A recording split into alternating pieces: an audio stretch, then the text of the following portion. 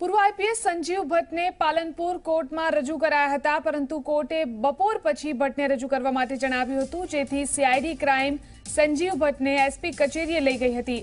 એનડીપીએસનો ખોટો કેસ કરવા મામલે સંજીવ ભટ્ટની ધરપકડ કરવામાં આવી છે. સીઆઈડી ક્રાઇમ ચુસ્ત બંદોબસ્ત સાથે કોર્ટમાં લઈ આવી હતી. સીઆઈડી ક્રાઇમ વધુ પુરાવા એકત્રિત કરવા માટે રિમાન્ડ માંગી શકે છે. સમગ્ર મામલે પૂર્વ આઈપીએસ સંજીવ ભટ્ટ સહિત પાસ સાત પોલીસ કર્મીઓની ધરપકડ કરવામાં આવી છે. કેસને લઈને બનાસકાંઠામાં ખળભળાટ મચી ગયો છે. ઓગણીસો અઠ્ઠાણુંના એનડીપીએસનો ખોટો કેસ દબાણ આપી કરવાનો આરોપ સંજીવ ભટ્ટ પર મુકાયો છે.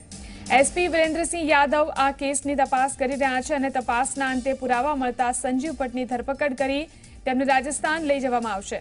ઓગણીસો અઠ્ઠાણુંમાં વકીલ પર ખોટો કેસ કરવા નશાનો પદાર્થ મેનેજ કરી મૂકવામાં આવ્યો હતો, જેમાં પીઆઈ અને કોન્સ્ટેબલ પર વકીલ પર કેસ કરવા દબાણ કરવામાં આવ્યું હતું.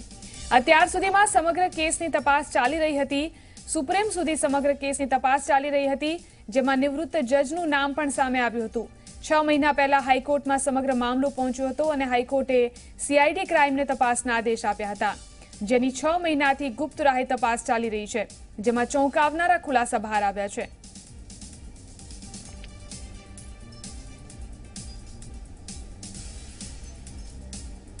આ વિશે વધુ જાણકારી માટે અલ્કેશ રાવ ફોન લાઈન પર જોડાયા છે. જી, અલ્કેશ, જણાવો, શું છે વધુ વિગતો? જી, ચોક્કસ, જીલન વાત તો પૂર્વ આઈપીએસ સંજીવ ભટ્ટની ગઈકાલે એનડીપીએસના ખોટા કેસમાં સીઆઈડી ક્રાઇમે ધરપકડ કરી હતી.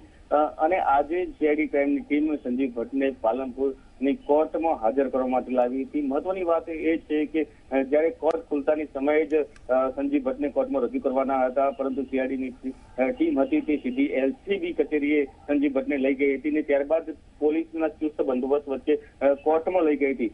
પરંતુ જ્યારે સંજીવ ભટ્ટને સીઆઈડીની ટીમ કોર્ટમાં લઈ ગઈ ત્યારે કોર્ટમાં અન્ય કેસ ચાલતો હોવાના કારણે જે કોર્ટના જજ હતા તેમણે તરત જ સંજીવ ભટ્ટને પાછા મોકલ્યા હતા અને સીઆઈડી ક્રાઇમ ટીમને આદેશ કર્યો હતો કે બપોર પછી રિસેસ પછી ત્રણ વાગ્યા પછી સંજીવ ભટ્ટને કોર્ટમાં લઈને આવવા ખાસ કરીને વાત કરવામાં આવે તો સંજીવ ભટ્ટના પુત્ર સહિત તેમના પરિવારજનો અને વકીલ અહીંયા હાજર છે. તો સામેના પક્ષ સીઆઈડી ક્રાઇમના પણ વકીલ હાજર છે. બંને વકીલો વચ્ચે દલીલો થશે અને ત્યારબાદ જે સીઆઈડીની ટીમ છે તે સંજીવ ભટ્ટને વધુ તપાસ માટે રિમાન્ડ માંગે તેવી શક્યતા છે. જી.